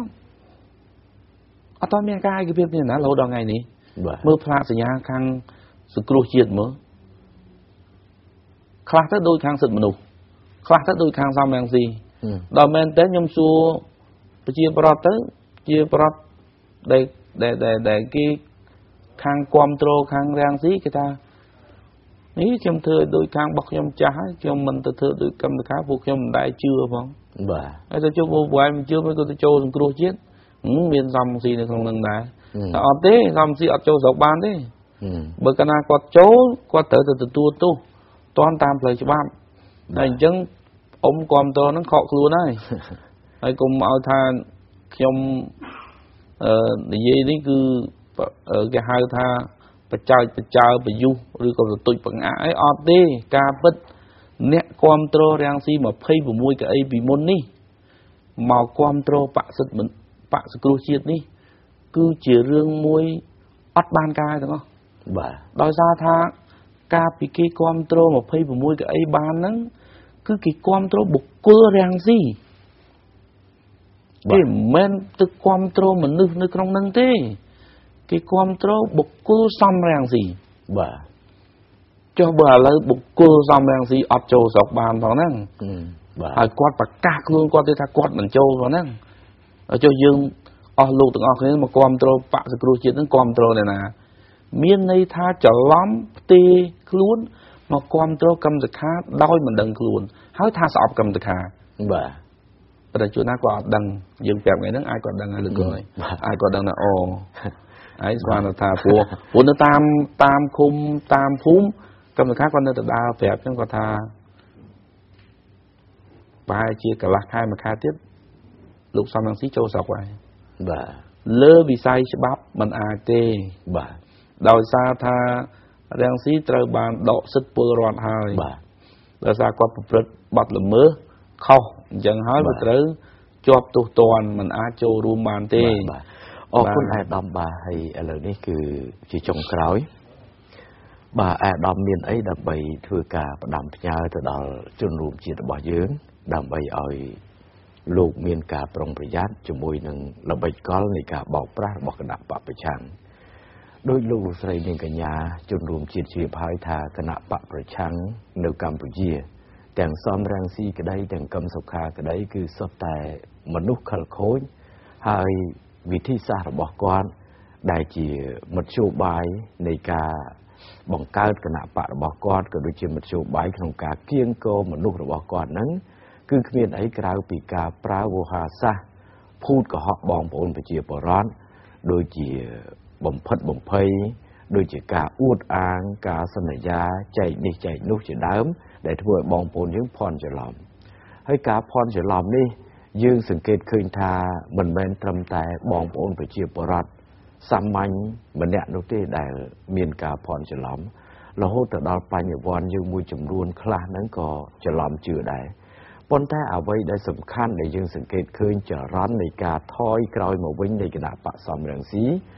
គឺត្រង់ថានៅពេលដែលបងប្អូនយើងបានភ្លក់នៅរសជាតិនៃទង្វើរបស់លោកសំរងស៊ីបានភ្លក់នៅរសជាតិនៃទង្វើរបស់លោកកឹមសុខាពេលនោះហើយគឺជាពេលមួយដែលធ្វើឲ្យបងប្អូនយើងបកក្រោយវិញ ហើយវិលមកគ្រប់គ្រងគណៈបកប្រជាជនកម្ពុជា ដែលគេដឹងថាជាគណៈបកតែមួយគត់ជាក្តីសង្ឃឹមសម្រាប់ប្រជាពលរដ្ឋហើយក៏ជាគណៈបកតែមួយគត់ដែលជាសសរទ្រូងរបស់ប្រទេសជាតិអញ្ចឹង អាដាមមានអីសម្រាប់ជាការផ្ដាំផ្ញើចុងក្រោយអាដាមបាទបាទអឺជាចុងក្រោយនេះប៉ុន្តែខ្ញុំសូមលើកបន្តិចបាទដល់ទៅពេលបោះឆ្នោតហើយនេះសូមយើងមើលអឺល្បិចហ្នឹងចេញទៀតហើយមើលពេលហ្នឹងកម្មការគេគិតខ្លួនទៅណាទៀតកាលពីអាណត្តិមុន គិតខ្លួនបានខ្ញុំបានអាដាមកែរីមីនិងលោកបញ្ញរិទ្ធនៅយាមកន្លែងបាទហើយលើកនេះមើលមើលគ្នាសម្រាប់យាមកន្លែងហើយទៅព្រោះកម្មការគិតខ្លួនទៀតហ៎ប្រហែលជាពលហំហើយមើលទៅអត់ទេពលហំគាត់មនុស្សឆាប់ភ័យខ្លាំងណាស់អូភ័យលឿនជាងកម្មការទៀតភ័យលឿនណាស់ពលហំនេះជាចុងក្រោយនេះយើងខ្ញុំសូមឲ្យបងប្អូនប្រជាប្រដ្ឋមុននឹងសម្រេចចិត្ត គ្រប់គ្រងគណៈបកនយោបាយណា ជាពិសេសគឺពួកក្រុមគណៈបកសង្គ្រោះជាតិនេះ គឺសូមឲ្យបងប្អូនគិតមើលឲ្យបានច្បាស់ថាតើបងប្អូនរំពឹងបានដែរឬក៏អត់បាទហើយកម្រិតមេដឹកនាំក៏ប៉ុណ្ណឹងអាចក្តីមានក្តីសង្ឃឹមសម្រាប់ដឹកនាំប្រទេសជាតិទេធនធានមនុស្សប៉ុណ្ណឹងអាចទៅរួចទេ ដូច្នេះសូមឲ្យបងប្អូនពិនិត្យពិចារណាឲ្យបានច្បាស់ព្រោះថាការបោះឆ្នោតរបស់ប្រទេសយើងពីមួយអាណត្តិទៅមួយអាណត្តិយើងឃើញថាគណៈបកប្រជាជនបាននាំមុខឥឡូវនេះរហូតដល់90អាសនៈបាទហើយឃើញថាការរីកចម្រើនការវិវត្តហ្នឹងក៏វាមានច្រើនជាហូរហែមករហូតបាទអញ្ចឹងបើសិនជាយើងសម្រេចចិត្តខុសវាអាចจะមានវាคล้ายទៅជាគេហៅថា បន្ទុចបង្អាក់ឬក៏វាបាត់ការវិវត្តទៅវិញអញ្ចឹងហើយសូមឲ្យបងប្អូនប្រជាប្រដ្ឋទាំងអស់លោកពិនិត្យពិចារណាឲ្យបានច្បាស់លាស់ទៅលើនយោបាយរបស់ក្រមបកប្រឆាំងនេះព្រោះថានេះមិនមែនជាក្រមបកប្រឆាំងដែរកើតថ្មីទេគឺគ្រាន់តែគេហៅថាលៀបពណ៌ដាក់មកកៅដាក់អីចឹងទៅវាចេញទៅជាបកសង្គ្រោះជាតិតែមនុស្សហ្នឹងគឺ មនុស្សដដែលទាំងអស់ចរិតដដែលលក្ខណៈសម្បត្តិដដែលសមត្ថភាពដដែលអត់មានធ្វើអីកើតដដែលបងប្អូនពិនិត្យពិចារណាបានច្បាស់លាស់បាទសូមអរគុណបាទបាទសូមសូមអរគុណអាដាមបាទដែលបានចំណាយពេលវេលាចូលរួម នៅក្នុងវេទិកាលាតត្រដាងការពិតដើម្បីជាការពន្យល់ក៏ដូចជាបំភ្លឺទៅដល់ជនរួមជាតិហើយតាមរយៈអ្វីដែលជា បទបង្ហាញរបស់អាដាមនៅក្នុងគណៈនេះខ្ញុំជឿជាក់ថាបងប្អូនរួមជាតិខ្មែរទាំងក្នុងនិងក្រៅប្រទេសបាទលោកនឹងតាមដានស្វែងយល់ហើយជាពិសេសផ្ទៀងផ្ទាត់ជាមួយនឹងអ្វីដែលអាដាមបានមានប្រសាសន៍នៅក្នុងវេទិការបស់យើងក៏ដូចជាជាមួយនឹងសកម្មភាពពិតរបស់លោកសំរងស៊ីក្តីក៏ដូចជាលោកកឹមសុខាក្តីហើយពេលនោះនឹងរំលេចចេញឲ្យឃើញនៅភាពដែលគេហៅថាជាចរិតកលេសកលុច របស់មេបកទាំងពីរនឹងជាមិនខាន បាទឥឡូវនេះក៏ឃើញថាលោកស្រីនិងកញ្ញាជនរួមជាតិក៏បានតាមដានទស្សនាហើយក៏តាមដានពិចារណាជាមួយនឹងវេទិការបស់យើងផងដែរហើយដោយសារថាពេលវេលារបស់យើងបានដល់ទីបញ្ចប់ហើយនោះបាទខ្ញុំបាទសូមថ្លែងអំណរគុណសម្ដេចលោកជំទាវអាដាមលោកជំទាវលោកលោកស្រីនាងកញ្ញាជនរួមជាតិទាំងក្នុងនិងក្រៅប្រទេសទាំងអស់ ដែលបានតាមដានទស្សនានិងពិចារណាជាមួយនឹងវេទិការបស់យើង បាទសម្រាប់ពេលនេះខ្ញុំបាទរួមជាមួយនឹងសហការីសូមអរគុណសូមជម្រាបលាបាទ